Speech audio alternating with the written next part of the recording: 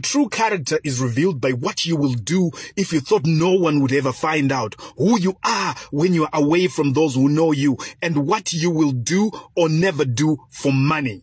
So what is your true character?